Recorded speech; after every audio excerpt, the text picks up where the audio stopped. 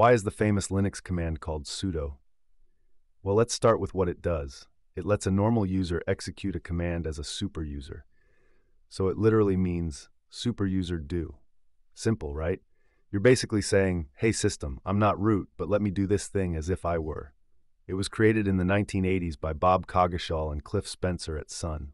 Before sudo, sysadmins used to just switch to root completely with su. But that was dangerous. Once you're root, you can destroy your system with a typo. So sudo was born to give you just enough power for just one task, and it logs everything, because, you know, with great power comes great responsibility. That's it. Sudo is super user do. But if you prefer a darker meaning, try typing sudo rm dash rf and see what happens. Just kidding. Don't. Seriously. Thanks for watching.